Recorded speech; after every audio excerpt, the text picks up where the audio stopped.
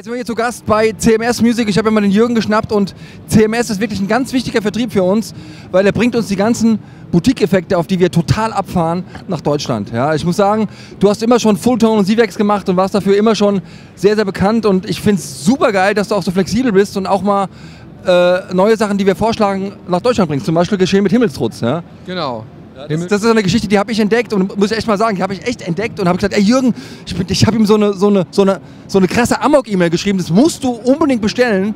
Und wie lange hat es gedauert? Irgendwie sechs, acht Wochen, da hatten wir die Dinger fast da, ne? Ja, da, genau, ja. Und jetzt, jetzt habe ich, und jetzt hab ich einen Bericht gesehen bei Gitarre und Bass, seht ihr die Dinger und ich denke so, guck mal da, die Dinger sind da. Ja, das ist also, das ist halt der Vorteil von so, von so kleinen Vertrieben, es sind kurze Wege und es funktioniert geil.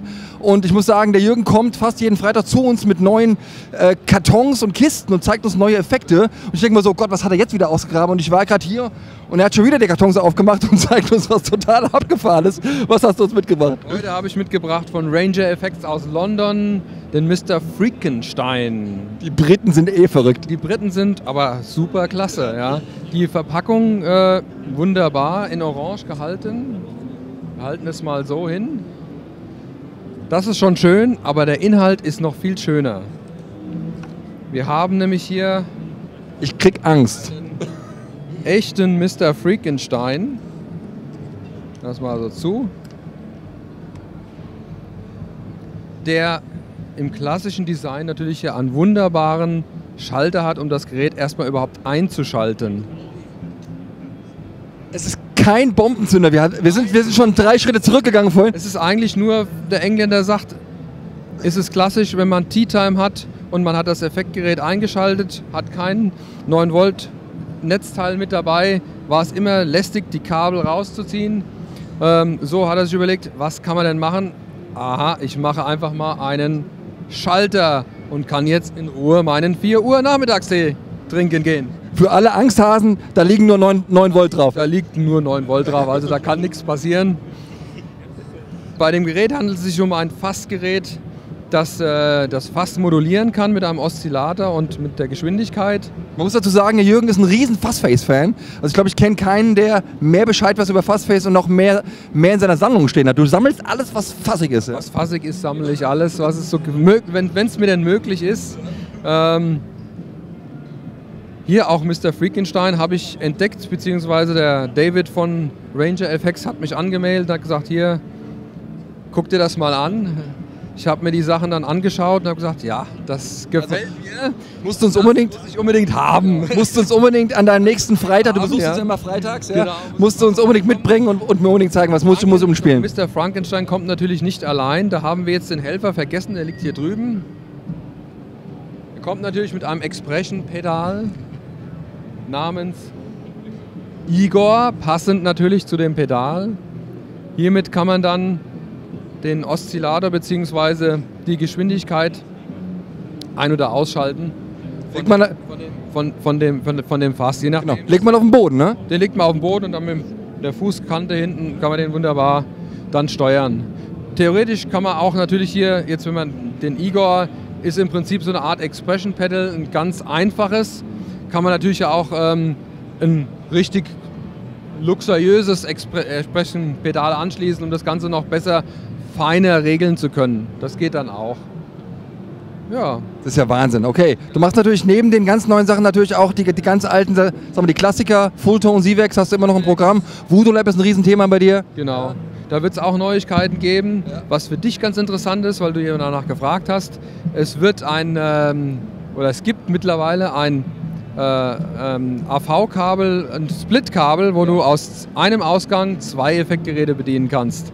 Endlich, weil mein Board hat mehr als acht Effekte, genau. könnt ihr euch vorstellen, ja. Und da komme ich natürlich mit einem Pedal Power nicht ganz klar. Ja. Das heißt, man kann dann theoretisch 16 Effekte mit äh, acht Kabeln sozusagen dann bedienen. Okay. Hast du schon lieferbar? Habe ich schon lieferbar, ja. Das heißt, ich kann mir es beim Jürgen abholen. Genau. Hm, geil, super geil.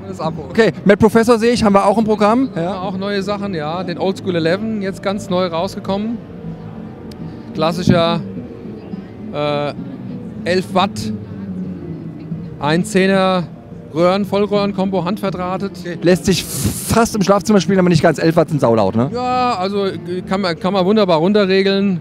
Natürlich, wenn man ihn aufdreht, dann fängt er an richtig zu zerren und dann wird es auch richtig laut. Das ist, das ist natürlich ein geiler Amp hier. Den hat sich bei uns mal Gary Moore ausgeliehen für einen Gig. Ja? Ein super geiler Marshall-Klon. Klingt, klingt im Grunde wie so ein JMP 100 oder JMP 50, ne? mit mehr Gain. Ja, mit mehr Gain, sowas in der Richtung ist das. Also der Marshall hat Pate gestanden, aber auch der Clean- Clean-Kanal ist, äh, ähm, der vielleicht ein bisschen mehr in Richtung Fender geht. Trotzdem, trotzdem äh, Sind im Grunde alle handwired, ne? Äh, nein, nur der äh, 11er und der 21er, die sind handwired. Der MP101 ist äh, ein Platinen-Amp. Aber super geile Sachen. Also Aber es kann auch sein, dass die jetzt künftig die neuen, die neuen, äh, die neuen Designs, dass die eventuell auch äh, in ein, zwei Jahren oder was dann auch handwired werden, dass sie da wieder zurückgehen auf den. Bei denen haben sie es schon gemacht, weil die ja neu sind, neu, neues Design. Da kann es dann auch sein. Aber das ist noch, steht noch in den Sternen. okay, warst, du- warst du schon bei Sivex drüben? Hast die ganzen Hand, bei Handpainted Sachen angeschaut? Hab, ja, habe ich auch hier irgendwo liegen. Müssen wir gleich mal schauen, wo ich sie hingelegt habe. Da kriege ich ja weiche Knie. Das Ey, Alter, Alter. Oh.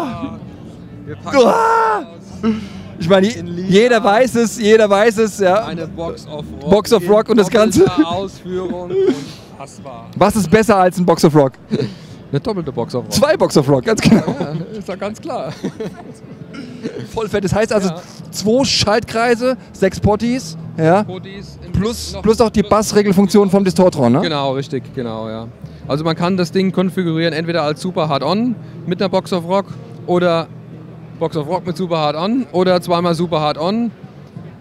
Ja, oder zweimal Box of Rock beziehungsweise mit dem Dreifachschalter Distortron dann. Ne?